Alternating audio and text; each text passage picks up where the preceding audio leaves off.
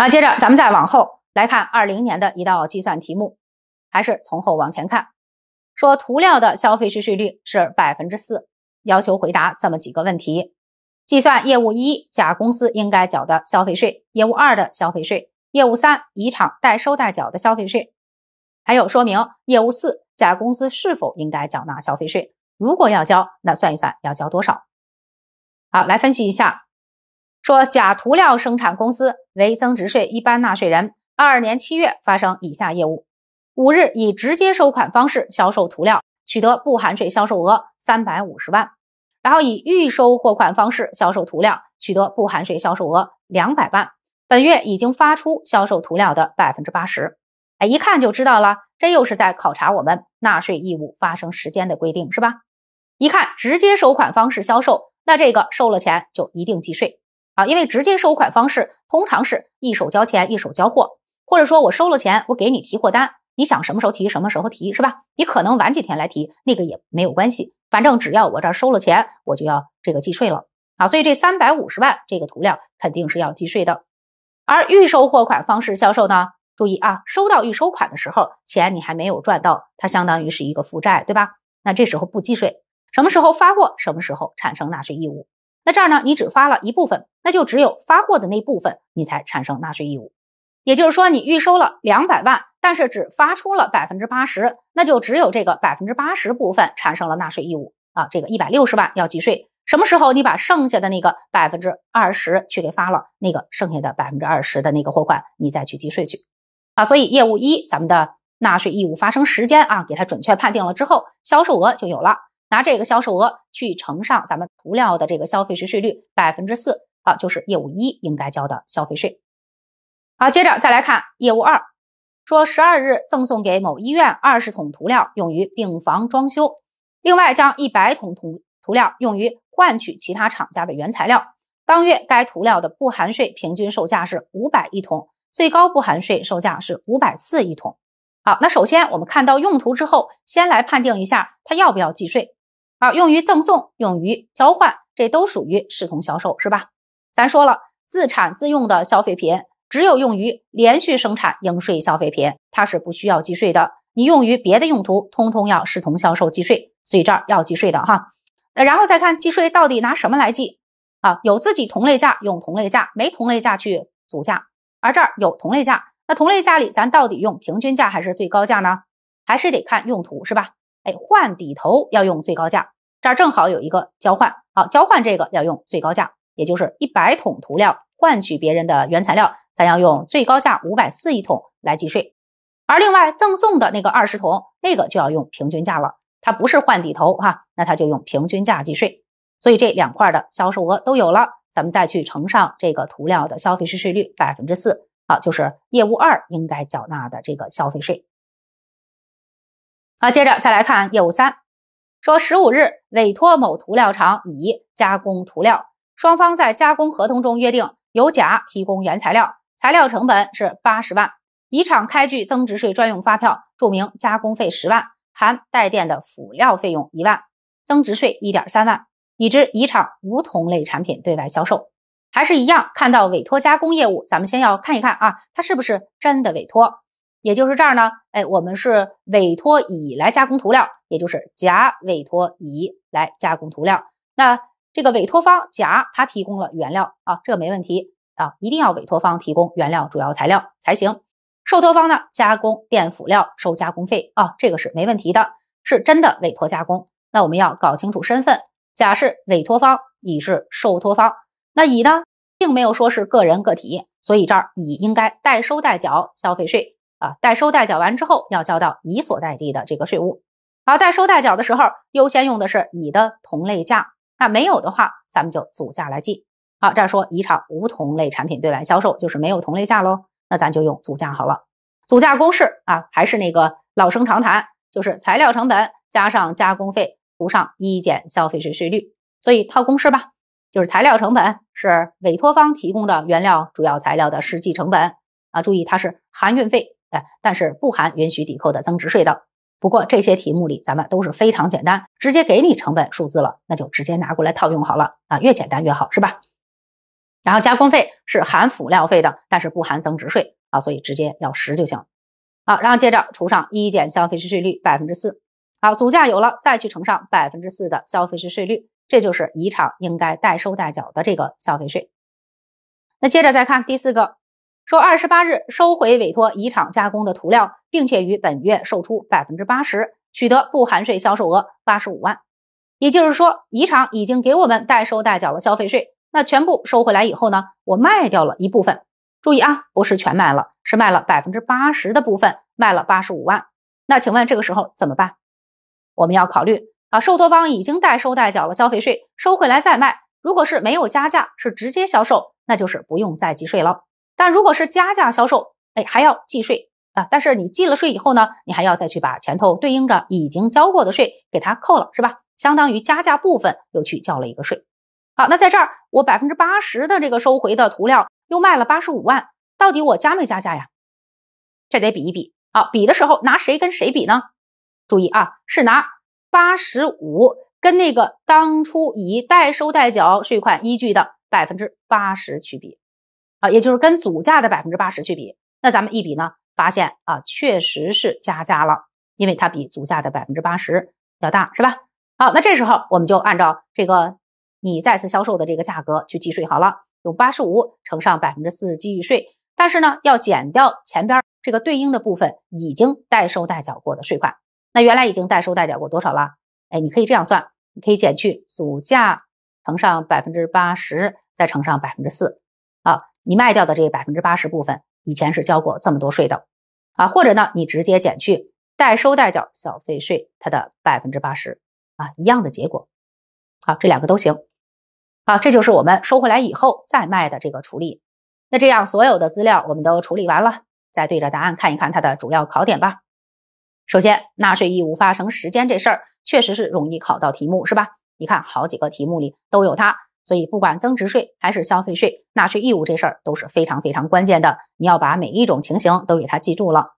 啊，另外就是换抵头最高价计税这事儿啊，也是重中之重，经常考。好，接着就是代收代缴消费税啊，咱们这个组价公式出镜率也是非常之高的，是吧？嗯，一般的公式，材料成本加上加工费除上一减消费税税率。如果是卷烟白酒的组价公式，分子上还要加上这个从量税啊，都要熟悉。好，再有就是啊，我收回来应该怎么办？好，收回来你再去销售的时候啊，咱们这儿有一个就是比价的过程，你要比一比有没有加价啊，加价销售要计税并且扣税。然后收回来，如果你又用于连续生产了呢？哎，如果收回来的这个委托加工的已税消费品。又用于连续生产规定的消费品了，咱其实还有扣税规定，对吧？哎，扣税的时候是用多少扣多少啊？委托加工收回的，如果你全用来去连续生产了，那么这块呢，咱们呃这个相应的原来代收代缴过的税款，有可能都能全抵掉啊，要看情况。好，接着我们再来看一个一九年的计算题，还是从后往前看，先来看资料，说 A 类、B 类卷烟，它都是甲类卷烟。甲类卷烟的增值税税率百分之十三，消费税税率是百分之五十六，加上每箱一百五。烟丝的消费税税率是百分之三十，进口烟丝的关税税率百分之十。以上销售额和费用均不含增值税。好，这里面说明涉及到了进口业务以及甲类卷烟的这个销售。好，要求回答以下问题：业务一应该交的消费税，业务二的增值税和消费税，好，业务三的消费税。然后还要计算甲厂国内销售卷烟应该缴纳的消费税，还有乙厂应该补缴的消费税，说明甲厂未代收代缴消费税应承担的法律责任。好，又跟那个委托加工有关系了。好，那来具体分析一下吧。首先说甲卷烟厂为增值税一般纳税人，二二年五月发生以下业务：第一个，采用分期收款方式销售 A 类卷烟一百八十箱，销售额是六百五十万。合同规定当月应收取价款的百分之七十，实际收到了百分之四十。另外，采取直接收款方式销售了 B 类卷烟八十箱，销售额是三百八十万。注意，这儿既卖了 A 类卷烟，又卖了 B 类卷烟，但是 A 类和 B 类它们都是甲类卷烟，所以用的这个比例税率啊都是百分之五十六啊。另外还有这个定额税哈。好，那接着来分析一下吧。这儿考察的还是纳税义务发生时间。一看到赊销、分期收款这样的字样，马上想到我们要按书面合同规定哈来确认纳税义务。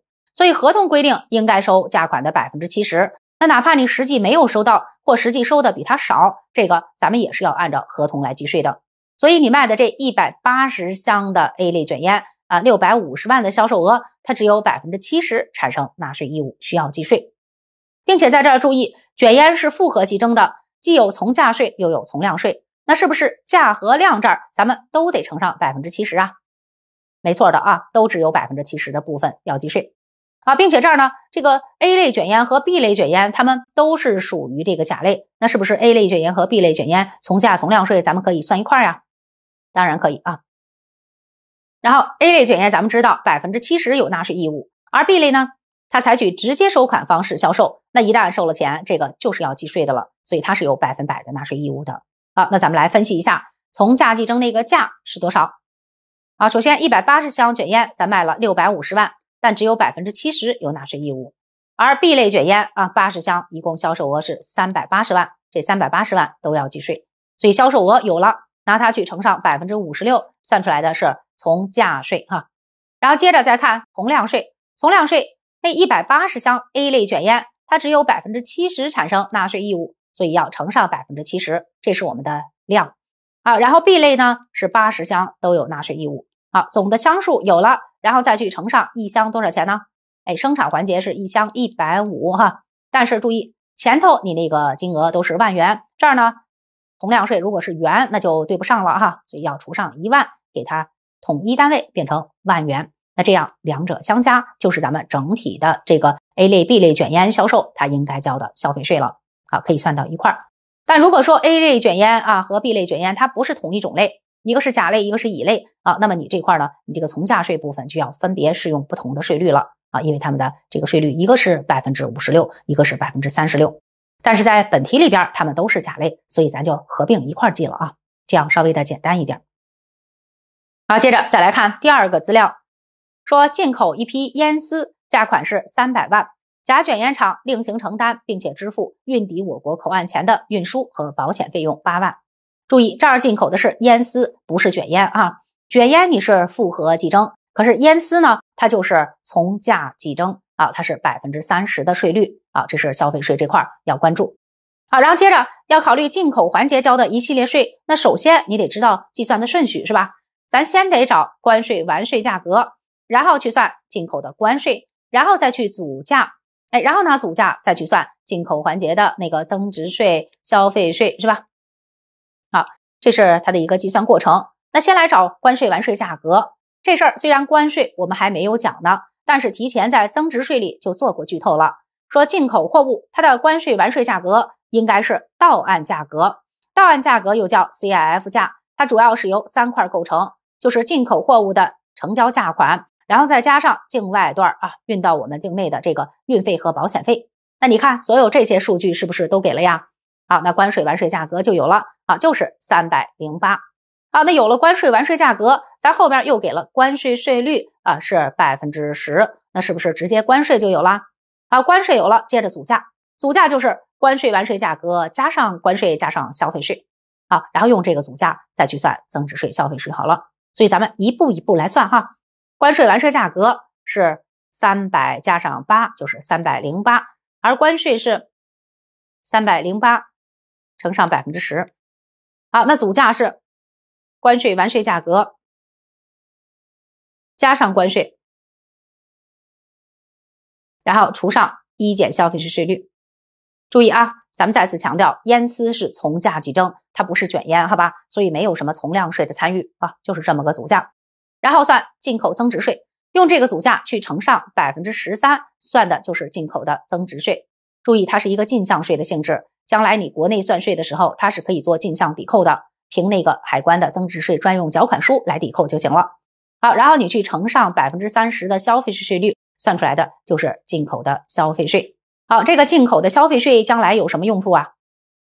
有的啊，进口你交了消费税以后啊，如果这个已经交过税的烟丝。又领用去连续生产卷烟了，那是不是可以扣税呀？按照生产领用数量去扣税，对吧？哎，比如你进口的烟丝全部都用来生产卷烟了，那么这个你进口交的消费税就全部都能抵掉。但是这儿呢，他并没有说哈，咱们一定要认真审题啊，认真的去看。如果他提到了，马上你要知道怎么去做。好，这是进口环节的一系列计税。然后接着再看第三个，说将两百箱的 B 类卷烟转移给下设的非独立核算门市部，门市部当月将其销售，取得销售额九百万。好，两百箱九百万是 B 类卷烟，A 类、B 类卷烟都属于甲类哈，那都适用一样的这个比例税率。好，这儿呢，它是转移给下设的非独立核算门市部的，那内部的移送这个价和量是不作数的，这块不用计税。等到非独立核算门市部它对外销售的时候，对外的销售价和量才是我们的计税依据，是吧？所以这儿计税依据啊就有了，对外销售额是九百万，那九百万不含税的，咱直接乘上百分之五十六，算出来从价税。然后两百箱啊，一箱一百五十元的从量税。注意换算成万元的单位，好，这就是咱们整体这个门市部销售应该缴纳的消费税了。好，接着再来看第四个，说外购一批烟丝，取得增值税专用发票，注明价款一百六十五万，税额二十一点四五万，当月领用外购烟丝的百分之八十，用于继续生产卷烟。哎，注意啊，咱们前头说这个进口的烟丝有没有领用去生产卷烟去呀？他没说用了是吧？那他如果说用了，咱们知道进口的消费税，哎，也是能够去抵掉的。但他没用，没用就算了嘛。啊，因为这个烟丝生产卷烟确实是允许扣税的，但是扣税的时候是用多少扣多少，是吧？是领用的时候按照生产领用数量去进行扣税的。那这儿外购的这批烟丝倒是用了啊，用了百分之八十，好，那它是可以扣消费税的。扣多少消费税呢？一百六十五万的烟丝，我用了百分之八十，那用了这么多，好，那它对应的消费税是多少呢？哎，就乘上它的消费税税率百分之三十好了，这就是我们允许抵扣的那个消费税的部分。好，然后接着再看第五个，说税务机关发现，二二年三月，甲厂接受乙厂委托加工了一批烟丝，甲厂未代收代缴消费税，已知乙厂提供的烟叶的成本是九十五万，甲厂收了加工费二十万。乙厂尚未销售收回的烟丝，你看这儿有什么甲厂、乙厂的事儿了？咱们先要搞清楚，咱们是谁呀？哎，咱们是甲厂是吧？咱们甲厂是委托方还是受托方啊？他说甲厂接受乙厂的委托，加工一批烟丝，也就是乙委托甲来进行加工。那乙是这个委托方，咱甲呢是受托方是吧？哎，受托干活的。好，那这种情况之下呢？哎，又是好，那乙厂提供了原料主要材料，甲厂收了加工费。这就是真的委托加工啊，没错的。那这种情形下呢，咱们甲厂又不是什么个人个体，所以他有这个代收代缴消费税的义务，应该是向甲的这个所在地的税务去进行一个缴纳这个税款。那他如果说代收代缴，应该按什么代收啊？优先用的是甲的同类价，没有的话就组价，是吧？但是这儿他说了啊，甲厂没有履行这个代收代缴义务。他有义务，但是没履行，当然要受到处罚，就是百分之五十以上三倍以下罚款，是吧？那就要以自己来交这个税了。以自己交税的时候，按什么交呀？那得看情况哈。如果这个收回来的消费品已经销售的，那是按售价来交；那没有销售的，也要用组价。哎，所以说双方啊，到底怎么去计税这事儿，你必须清楚。如果甲作为受托方代收代缴，他优先用的是受托方同类价，没有组价。而以自己交税，已经销售用售价，没有销售用组价，这个组价公式是一模一样的，是吧？啊，就是材料成本加上加工费除上一减消费税税率。注意啊，这儿咱们委托加工的是烟丝，不是卷烟啊。烟丝就是从价计征，对吧？嗯，它没有什么从量税的事儿啊，一定要注意小细节啊。所以这儿这个乙收回来以后自己交税的话，那也是按组价去交，就是材料成本九十五。加上加工费二十，除上一减消费税税率百分之三十，组了价之后再去乘上百分之三十，哎，就是我们应该代收代缴的消费税，或者说自己去交的时候那个用组价算出来的消费税啊，两个组价都一样嘛。好，这样我们就把所有的资料都处理完了。那来看一看答案。首先，它第一个考核的还是纳税义务发生时间，赊销和分期收款一定注意是书面合同约定的收款日产生纳税义务。实际没收到，或实际收的比合同约定少，这个都不影响，咱还是按合同计税。但是如果说啊，咱提前开发票，那是要提前计税的。啊，这是一个独特的规定。好，然后接着就是进口的这个烟丝的组价啊，非常常规。这儿呢涉及到了一个稍微麻烦一点的问题，就是关税完税价格它到底包括什么？这在咱们学完关税那一章之后，应该就更加清楚了哈。这儿呢，我们先知道它的基本情况，就是关税完税价格啊是进口货物的到岸价，那到岸价里包括成交价格以及境外段的运费和保险费。好，然后再一步一步的进行计算，尤其是那个组价啊，组价公式要很熟。好，然后接着就是非独立核算门市部的问题啊，咱们内部移送的这个价格和数量不作数，只有它真正对外销售了，那个对外的销售额、销售量才是计税依据。好，接着就是那个烟丝抵税的问题，乙税烟丝连续生产卷烟是在我们扣税范围之内的啊，不管你是外购的、进口的，还是委托加工收回的这个烟丝。只要它是乙税的，那么它连续生产卷烟都是可以按照生产领用数量来扣税的。啊，用多少扣多少，那一定要注意啊！题目告诉你用了百分之八十，那你就只有它百分之八十那部分的这个税，咱们是可以扣掉的。啊，最后再去整合一下所有的情形就好了。啊，另外就是委托加工到底怎么去计税啊？委托方怎么去计税？受托方怎么代收代缴？这个规则你都要清楚。而且那个组价公式哈，也是经常会考到的啊，我们要特别熟。好，这样我们就把消费税里的一些典型题目介绍完了。那接着呢，再对消费税做一个整体的回顾。消费税这一章咱们特别说了，它是小而美的一章，内容呢体量并不是非常大，但是呢分值不少，所以需要大家多花点时间，尽可能的把这一块的分数呢咱们都拿到手，少丢分是吧？嗯，这样得分效率是很高的。好，那先来回顾一下。它的第一块内容就是纳税环节，纳税环节这一块呢，绝大多数消费品是只征一道税的。那这一道税，要么是在大生产环节里去交，要么就是在零售环节交。只有金银铂钻首饰饰品是交零售的税的，它别的环节不交税。而其他的消费品都是大生产环节三选一的，要么你是出厂销售的时候在生产环节交税，要么是委托加工环节交税，要么是进口环节交税。好，这是只征一次税的。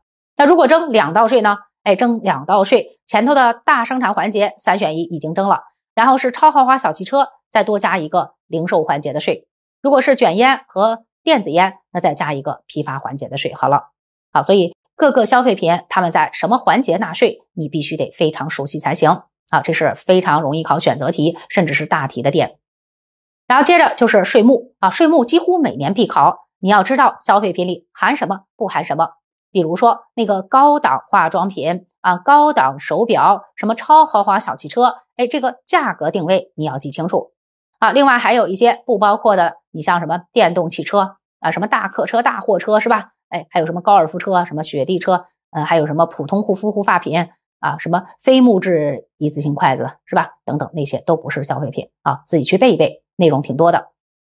好，然后接着就是税率，消费品啊，它采用不同的计税方式。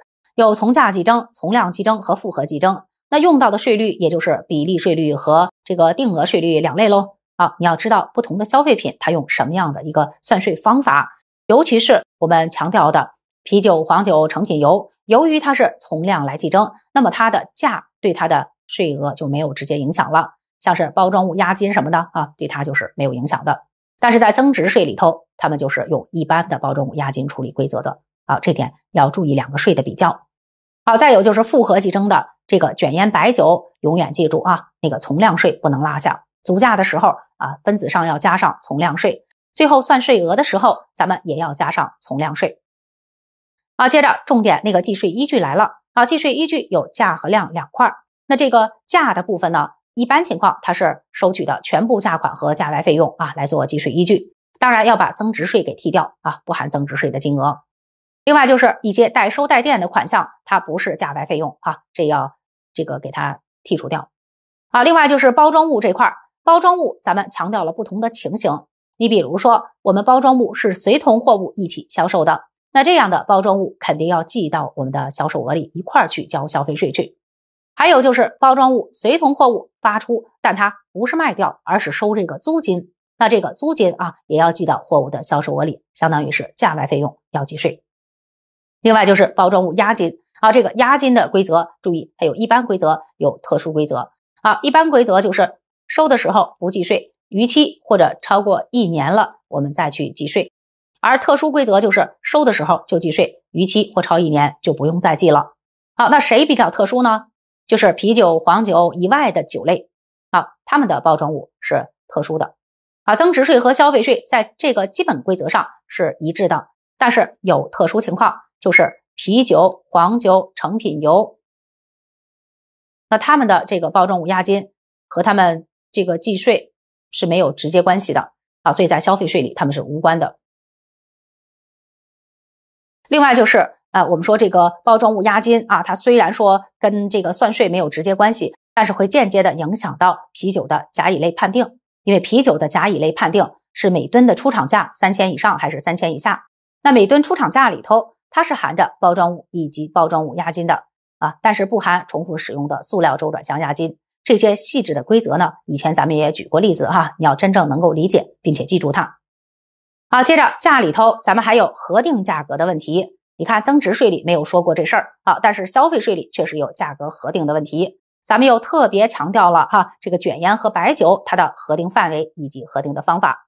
首先，像卷烟的话，它是生产环节所有牌号规格的卷烟都要进行核定的啊。注意批发环节不核啊，咱核的是生产环节的这个价格啊。另外，白酒呢，白酒它是在特定的情况下才核，比如说我生产企业生产出来白酒卖给销售单位，那这个价格低于销售单位对外销售价格百分之七十的。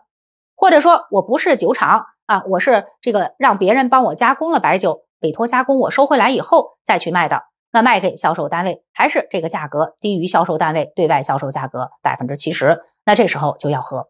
如果你价格卖的是销售单位对外销售价格的这个百分之七十及以上，那这个就不用核了啊。所以他们核定的范围你要搞清。另外就是核定的这个方法啊，卷烟这块咱们是用售价来倒推的进价。也就是用批发环节的销售额，然后去乘上一减去批发毛利率，好，这样去倒推的，好，知道售价，然后去倒推进价。你的这个批发商的进价其实就是厂家的售价嘛，好，拿它来作为一个这个核定的价格。而白酒呢，哎，是拿这个销售单位对外销售价格的百分之六十来核的，好，销售单位的价格乘百分之六十，核定比例统一是百分之六十。啊，并且核出来这个价格呢，它其实是一个计税的底线，也就是最低计税价格的性质。它跟那个实际销售价格是孰高的原则，谁高用谁来计税。好，这是关于价这一块这个特别的规定。然后接着就是量啊，这个量呢比较简单，如果是正常销售这个消费品，咱就拿销售数量来作为计税依据好了。啊，我卖了多少吨多少升是吧？嗯，这是销量，不是产量啊。另外，如果是自产自用。是拿移送使用数量来视同销售的，所以用的是移送数量。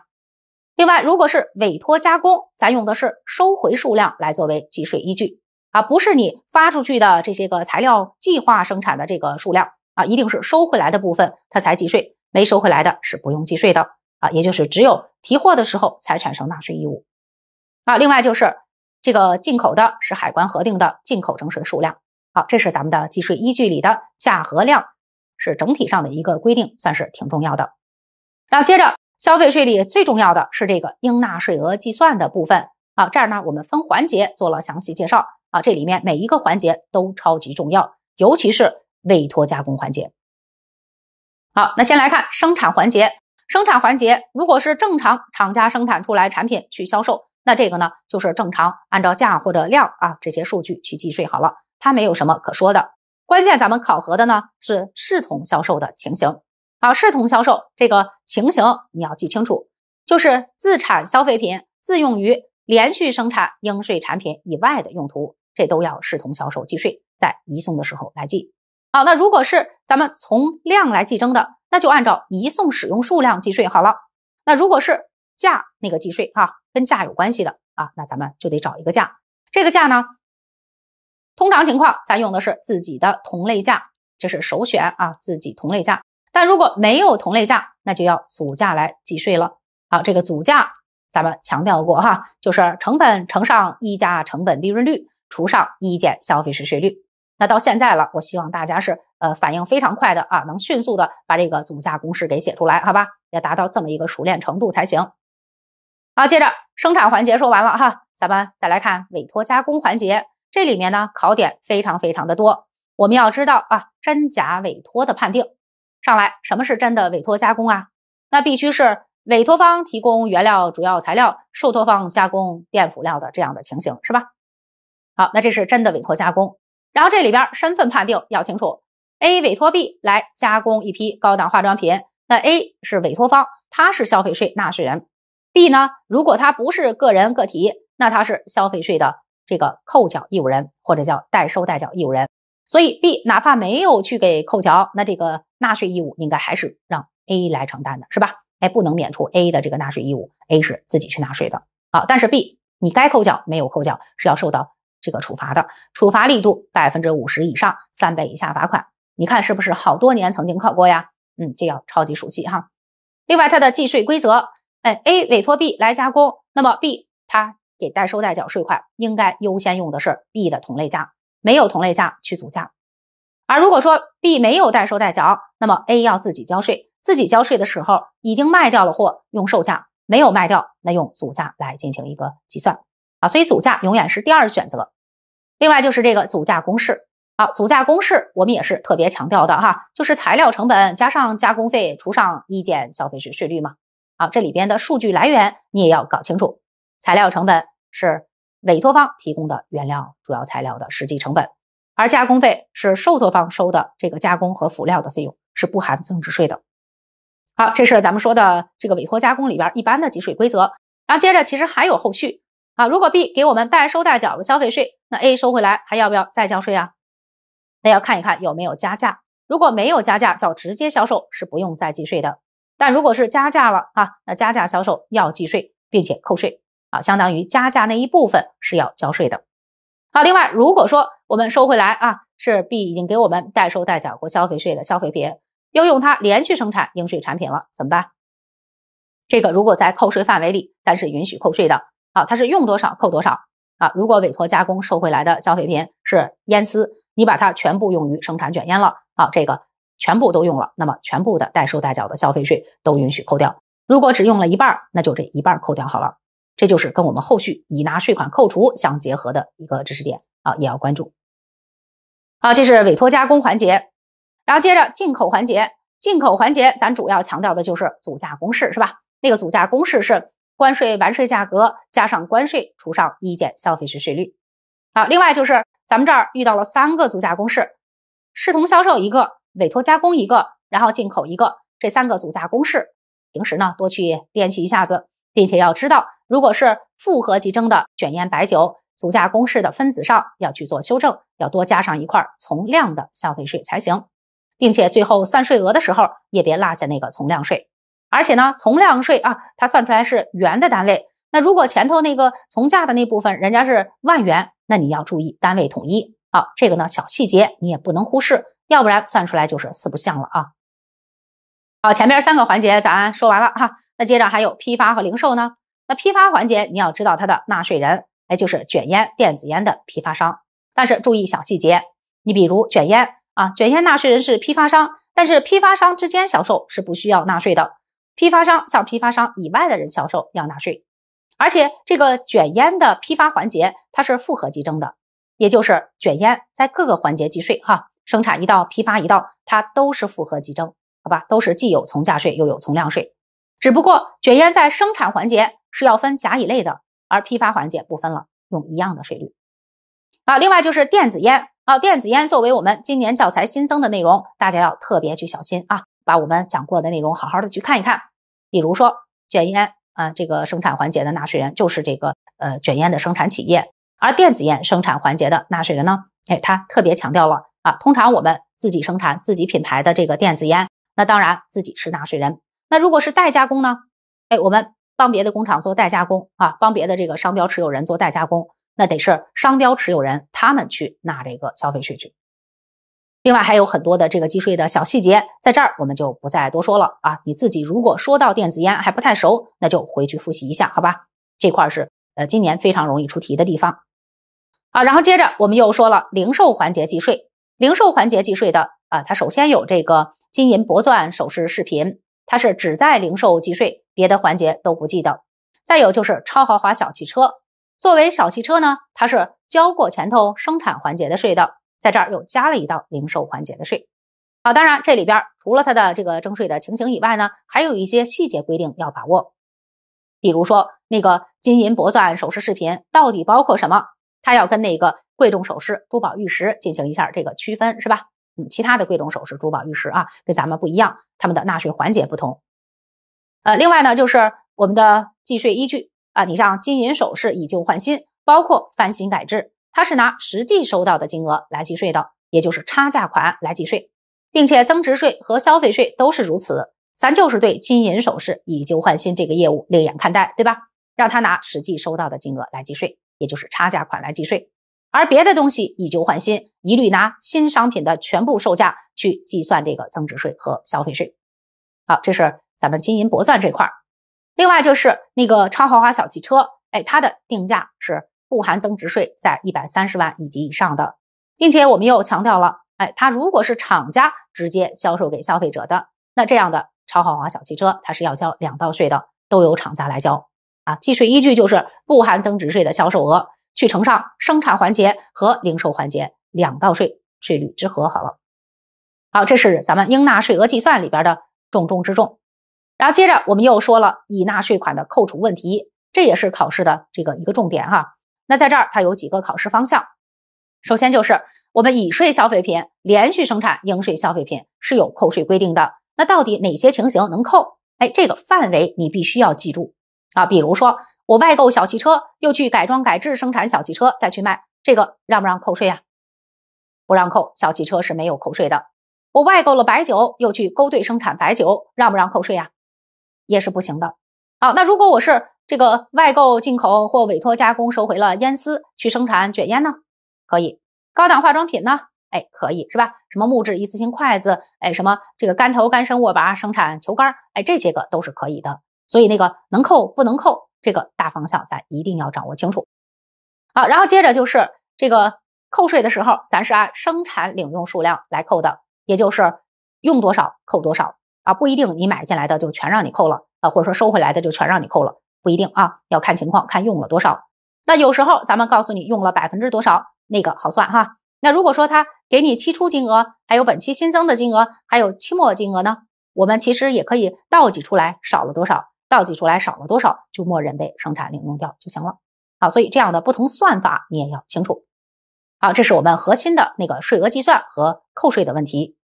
然后接着我们又介绍了消费税里的出口政策啊，这个比较简单，一共有三套：又免又退、只免不退和不免不退。适用于不同的出口主体，外贸企业出口是又免又退，生产企业只免不退，其他企业啊，比如一般的商贸公司就是不免不退的。那只有外贸企业能退税，退税怎么算呢？它是拿进价来作为退税依据，直接乘上消费税的税率的啊，并且这是征多少退多少啊，也就是完全退税啊，用的是进价，不是售价，这要分清楚。啊，接着咱们还说了征收管理的问题。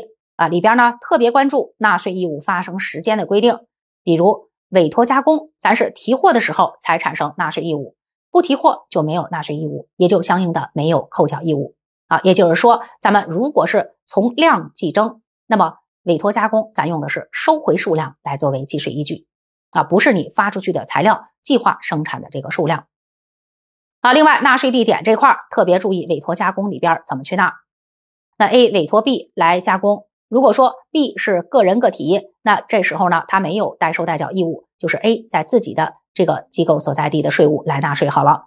那如果 B 不是个人个体，他就应该代收代缴消费税，这个税就交到这个扣缴义务人所在地好了，也就是 B 的这个所在地的税务账啊。所以这个情形咱们要分清楚。